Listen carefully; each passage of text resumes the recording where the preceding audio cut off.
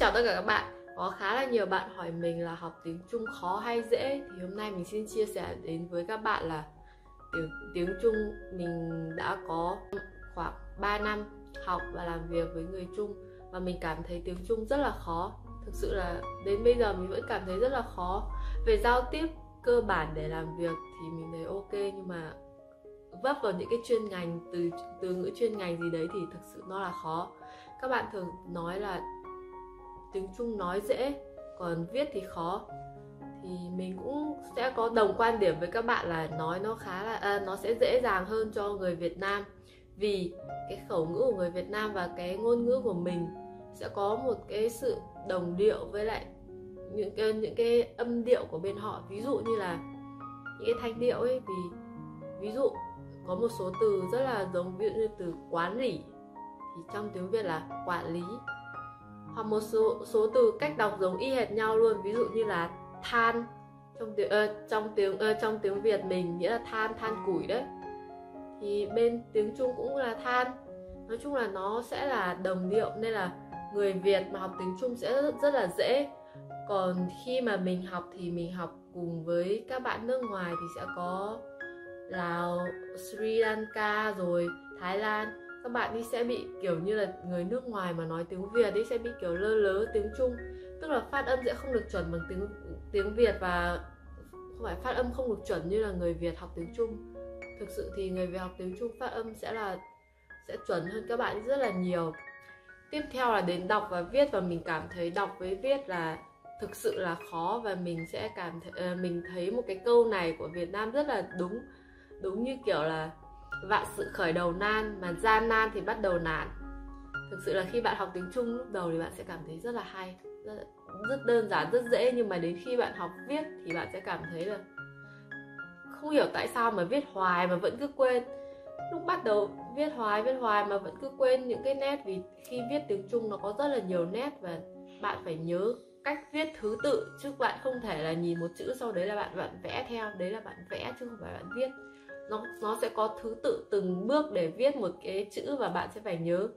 Sau khi bạn học cách viết chữ đấy như thế nào, thứ tự như nào, bạn còn phải học cách nhớ phiên âm như thế nào và cách nhớ nghĩa của nó.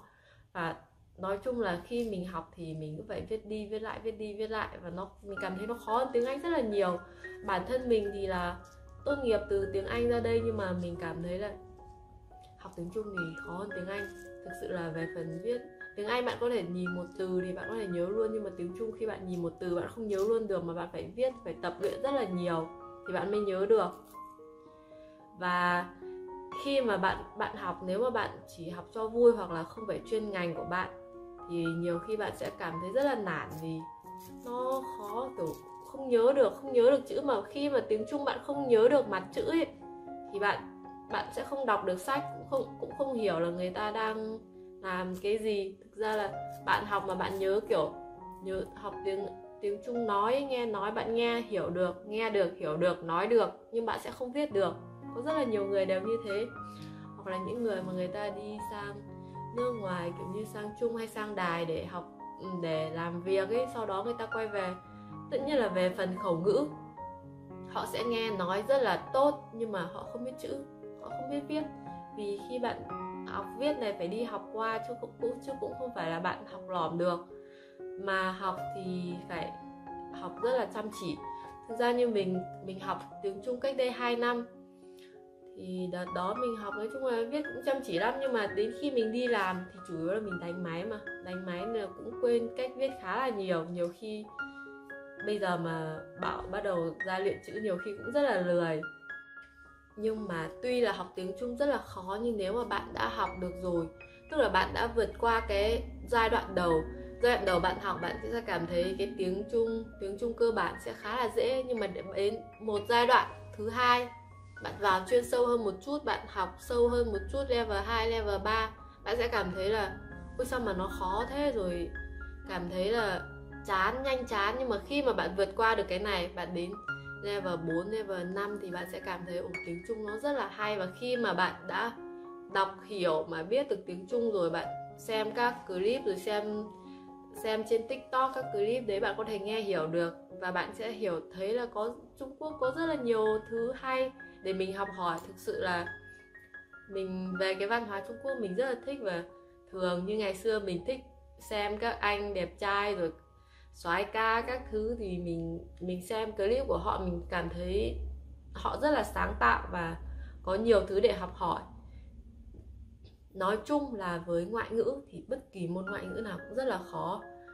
Ngay như tiếng Anh các bạn đã học từ, được học từ tiểu học, trung học rồi đại học, nhưng mà đến khi tốt nghiệp đại học, cái thi mức mức thi tiếng Anh của các bạn ra cũng ôn rất là khó, nên là học bất cứ một ngôn, môn ngôn ngữ nào cũng sẽ rất là khó.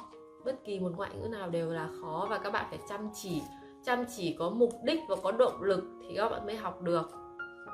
Nên là mình khuyên chân thành cho các bạn là phải chăm chỉ thì mới học được. Nhưng mà để đọc được chuẩn tiếng Trung thì mình cũng đã phải tham gia các lớp luyện thanh, luyện âm.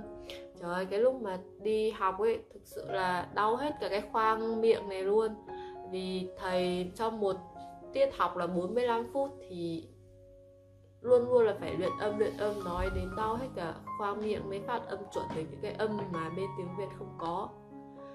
Thế nên là về phát âm thì các bạn cũng phải luyện uh, rèn luyện rất là nhiều. Hôm nay thì clip của chúng ta sẽ dừng lại ở đây thôi và mình chúc các bạn sẽ học sẽ có rất là nhiều động lực để học tiếng Trung và chúc các bạn học thật là giỏi tiếng Trung.